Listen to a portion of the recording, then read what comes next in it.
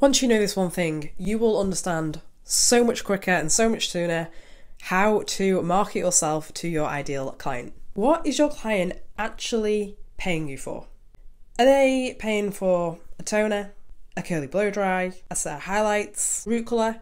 Are they buying a feeling off you? Are they buying a lifestyle or an identity, even? Are they buying the end result?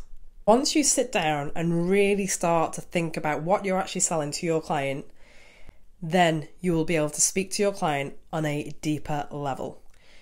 And I guarantee you, if you crack this thing, then you will have the phone ringing off the hook.